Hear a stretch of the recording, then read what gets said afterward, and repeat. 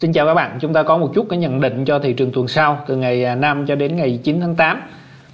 Với vị thế ngắn hạn thì rõ ràng là nó đang tiếp tục bào mòn cái tài khoản của các anh chị nhà đầu tư. Các anh chị có thể nhìn vào trong cái cái bảng nó rút gọn mọi cái phân tích về à, kỹ thuật ngắn hạn đối với các cổ phiếu và nhóm các cổ phiếu mà các anh chị đang quan tâm thì các anh chị chỉ cần nhìn vào trong cái nhóm và tìm cái cổ phiếu của mình đó à, thì các bạn sẽ thấy là đa phần là chúng ta đang có cái chữ màu trắng cũng như là cái chữ màu đỏ thì hai cái chữ này nó cho chúng ta thấy là cái xu hướng cổ phiếu giảm hoặc là cổ phiếu tiếp tục hồi phục trong cái xu hướng giảm.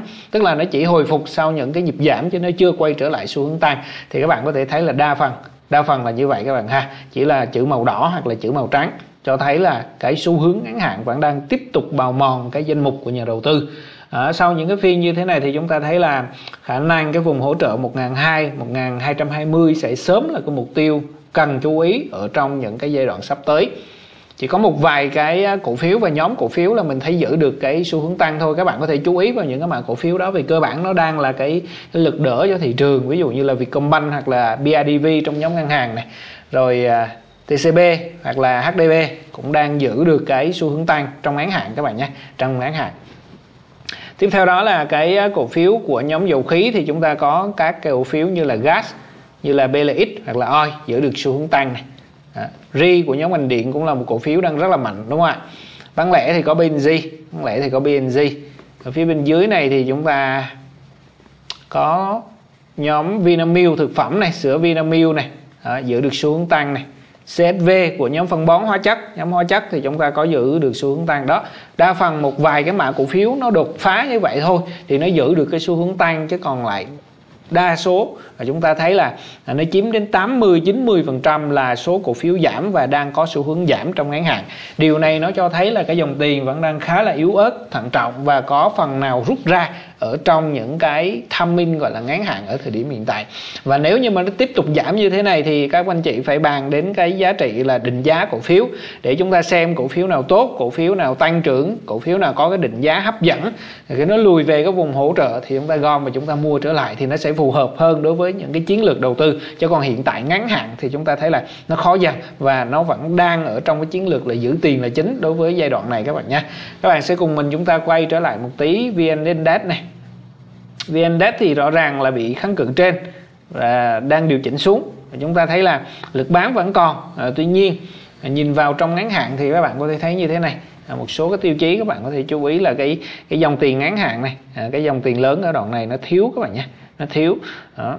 hiện tại thì chúng ta đang chờ nó test trở lại một lần nữa khu vực 1210 đó. mình nếu như mà ở vùng này thành công thì mình nghĩ là nó sẽ tạo đáy ngắn hạn để đi lên. Đó. khả năng là nó test nó test vùng này nó cứ xoay quay vùng này mà nó đi lên là đẹp. Đó. thì chúng ta sẽ kỳ vọng là nó đáy ở vùng này. À, chính là lên quanh vùng 1200 1215 các bạn nhé chúng ta chú ý cái mục này.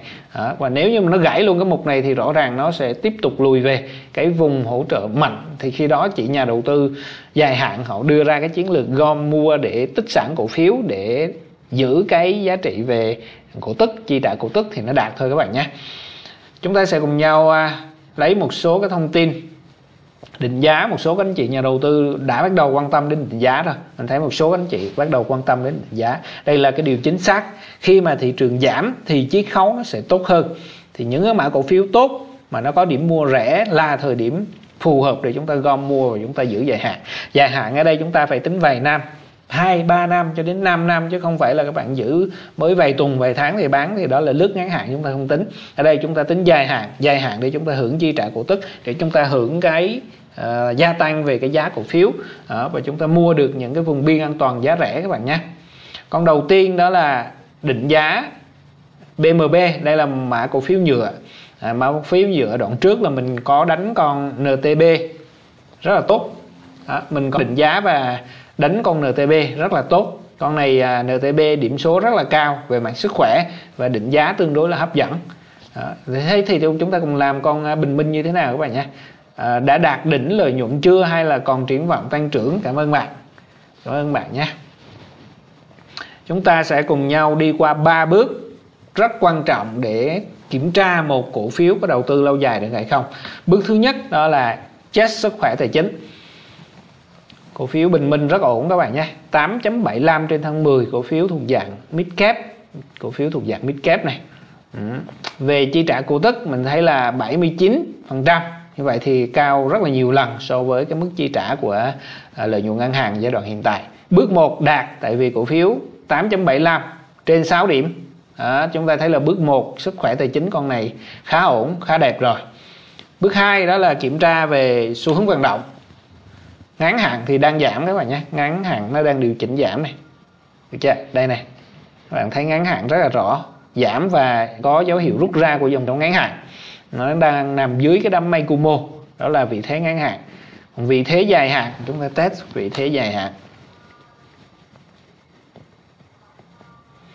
Vị thế dài hạn thì lại rất ổn. Các bạn thấy là nó là một mã cổ phiếu dạng tăng trưởng. Nhìn trên biểu đồ thì các bạn thấy rất là đẹp, đúng không ạ? Có tăng có điều chỉnh có sóng sánh rồi rất là rõ ràng. Sóng Elliott chúng ta thấy là rất là rõ ràng như thế này. Giá hiện tại giao dịch 95 nhìn thì thấy cao đúng không ạ? Nhìn thì 95 100 thì chúng ta thấy là khá cao so với cái mặt bằng chung của các cổ phiếu rồi. Tuy nhiên nó nó rẻ hay không á, là tùy thuộc vào định giá. Thì bây giờ chúng ta làm cái định giá đối với con ờ, bình minh này các bạn nhé. Đây thì các bạn cùng mình chúng ta mở cái định giá của bình minh. Bình minh đây các bạn mở mở định giá nó lên ha. Thứ nhất là nhập mã cổ phiếu bình minh vào này. Rồi nó lấy dữ liệu báo cáo tài chính 10 năm về đúng không ạ? Ok. Thế thì à, bây giờ cái giá hiện tại đang giao dịch là 958 ví dụ chúng ta mua lên quanh 95 thử này định giá nó vẫn đang rất là tốt các bạn nhé. Nó đang rất là tốt với vùng định giá 120 7 phương pháp. Đây là trung bình của 7 phương pháp định giá các bạn có thể thấy đúng không ạ? À, BE này BE là 958 VMB là 94.7 184.7 là phương pháp DCF là kiểu chiết khấu dòng tiền này.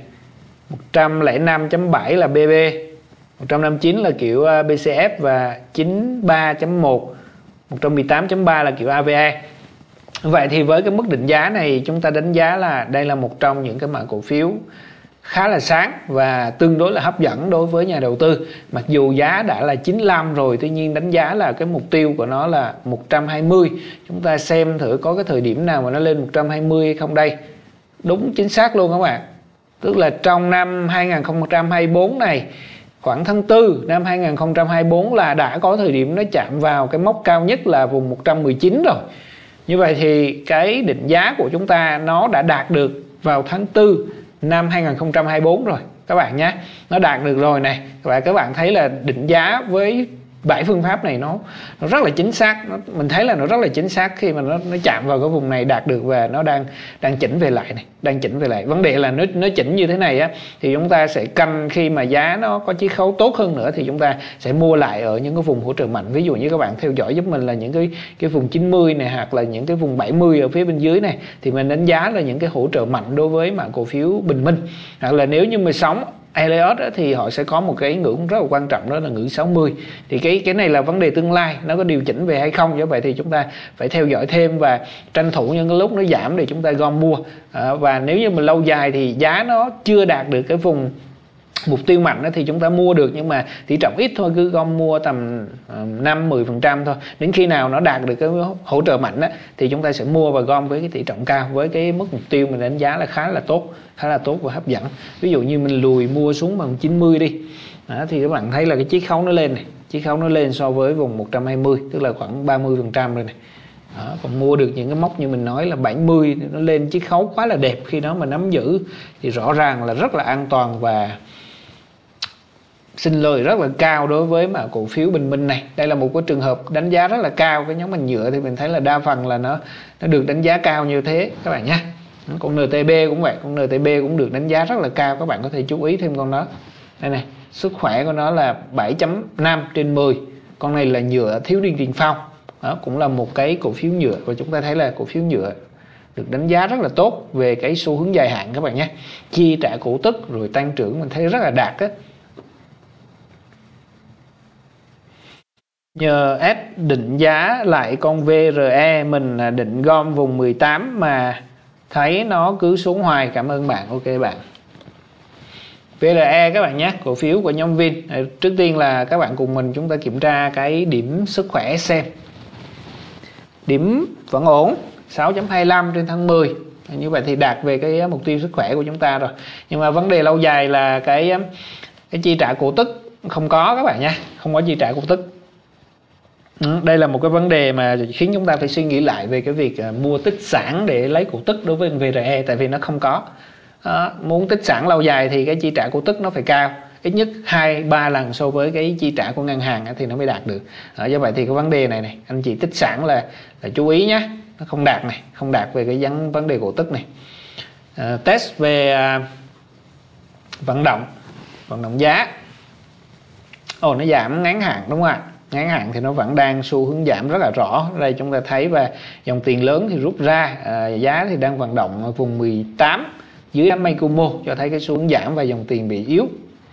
Xu hướng dài xu hướng dài vẫn đang là xu hướng giảm đối với mã cổ phiếu VRE được chưa?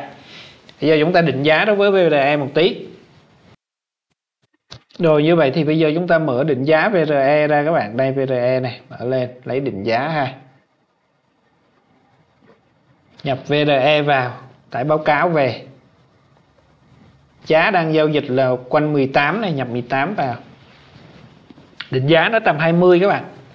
Định giá nó tầm 20 20 mà so với cái 18 giá mua này thì như thế nào để chúng ta xem thử cái biên nó nó, biên an toàn nó đạt hay chưa? 9 phần trăm. Lanh quanh 29 thì như thế này là chưa đạt lắm các bạn nhé. 20 này, chưa chưa đạt lắm. Chúng ta có thể là đợi những cái mốc nó sâu hơn một tí xem. 20 18 20